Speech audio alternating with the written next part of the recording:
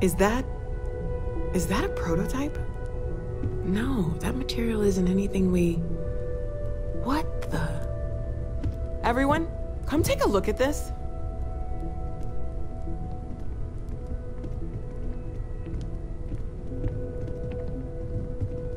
That's no faction vessel or Crimson Fleet.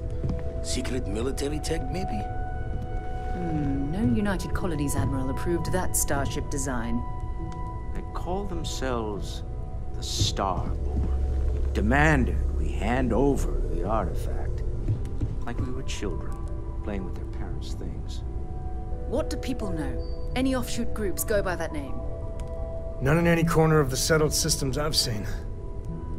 Maybe a distant human colony finally popping its head up? Huh, another house for Va'ruun?